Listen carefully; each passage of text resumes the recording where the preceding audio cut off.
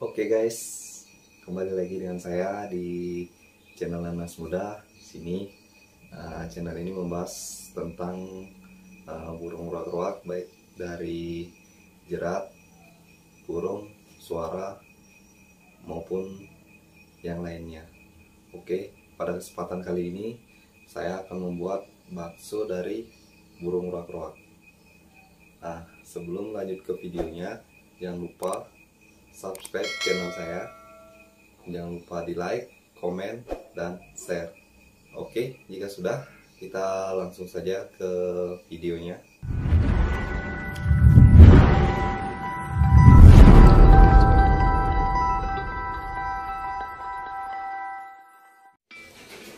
Oke, yang pertama kita potong, kita bersihkan dan uh, kita kuliti burung ragoknya hingga seperti ini ya.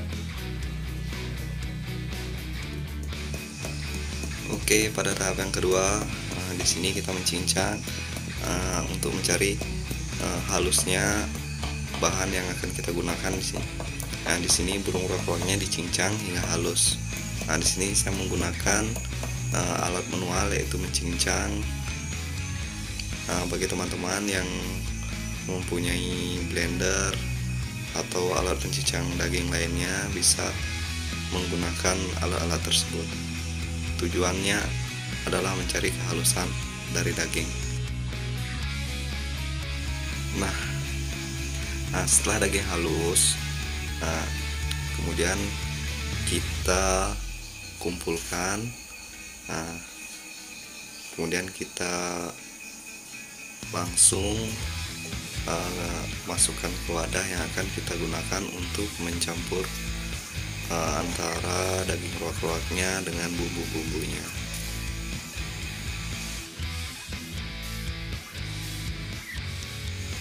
Nah bumbu yang kita gunakan di sini adalah bumbu seperti biasa yaitu rica bawang merah bawang putih kepala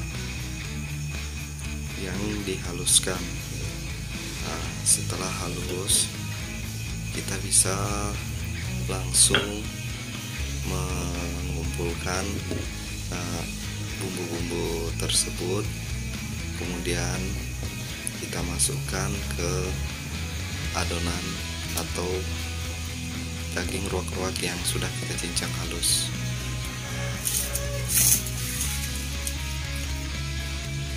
Nah seperti ini.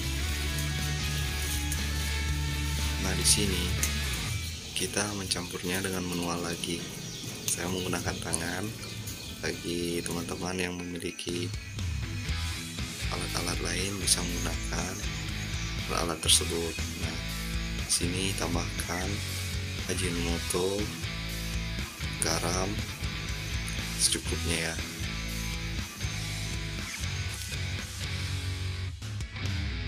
Tujuan dari pengadukan ini yaitu agar bumbu-bumbu dan daging ruak-ruaknya nah, tercampur rata.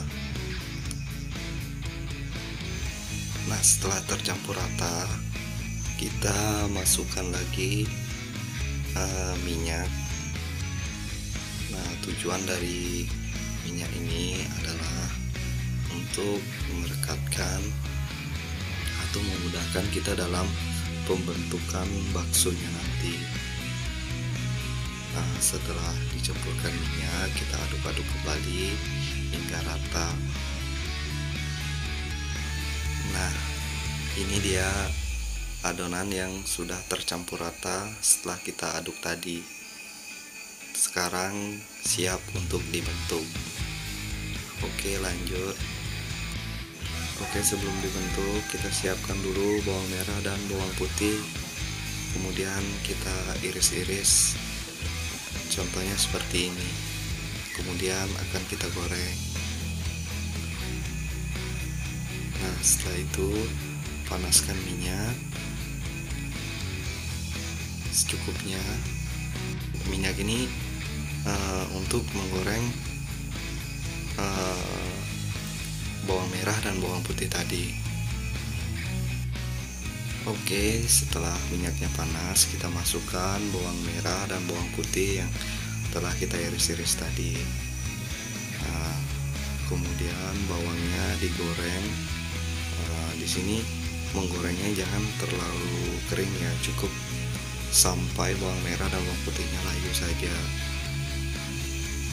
Oke, setelah bawang merah dan bawang putihnya layu, kita masukkan air secukupnya. Nah, setelah kita masukkan air, di sini kita tunggu hingga airnya itu mendidih. Nah, di sini setelah mendidih, kita masukkan daun salam.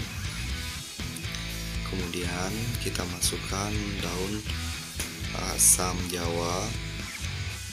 Nah, setelah itu kita aduk-aduk kembali nah, hingga uh, asam jawa daun asam jawa ini uh, layu dan daun salam juga mengeluarkan aroma. Setelah itu baru kita melakukan pembentukan uh, baksonya. Nah mengapa harus menunggu air mendidih jika airnya tidak mendidih maka saat pembentukan bakso bakso akan hancur. Nah ini adalah uh, contoh atau cara saya membuat uh, atau membentuk dari bakso ruat-ruat ini. Nah kurang lebihnya begini. Kita bentuk bulat-bulat seperti dia bakso seperti biasanya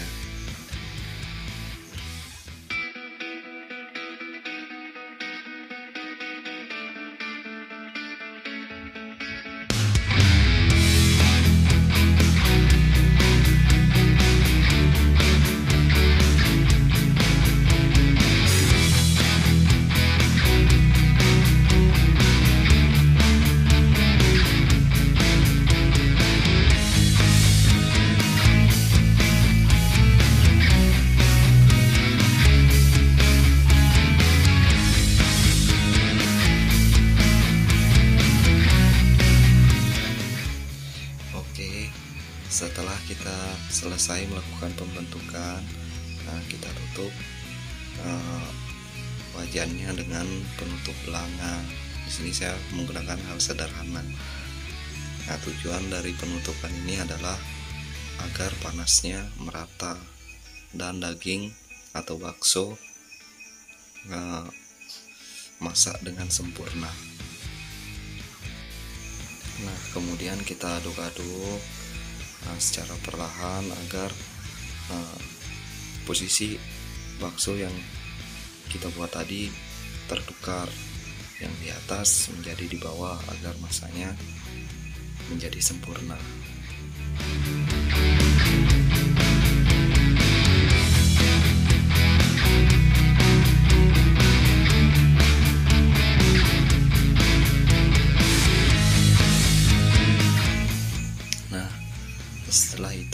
kita tambahkan garam secukupnya agar tidak terlalu asin.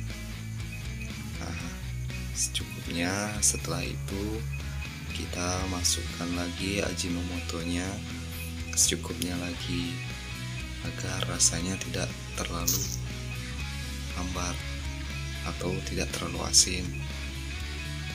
Oke.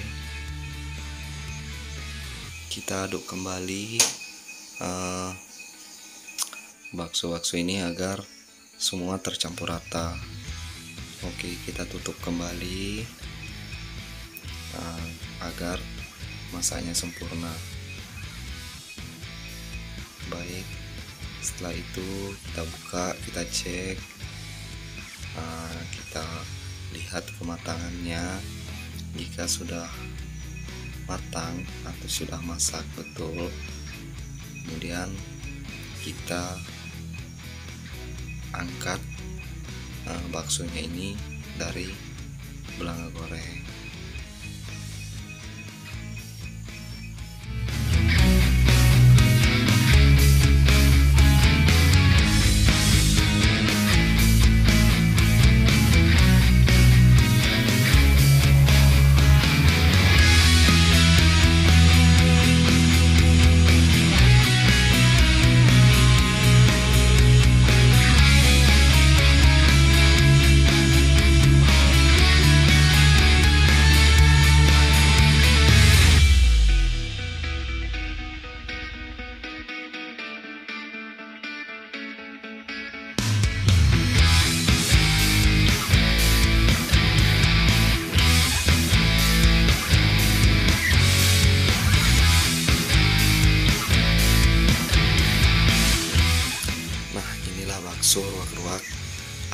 nanas muda.